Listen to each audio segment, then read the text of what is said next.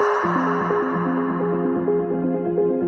Sull'alluvione abbiamo raccolto 230.000 euro che sono il frutto diciamo, dei 115 dati dalle persone e del raddoppio che la nostra cooperativa ha fatto. Questi saranno dati alla protezione civile perché ristori le famiglie che non hanno avuto altro tipo di ristoro, credo sia questa.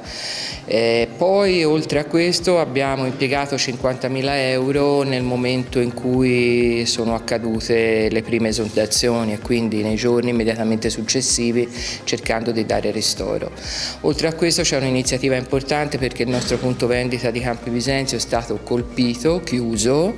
e quindi molte delle persone che vi lavoravano eh, sono state a lavorare da altre parti ma soprattutto hanno avuto danni e quindi abbiamo dato un finanziamento senza costi né interessi fino a 20.000 euro fino a 10 anni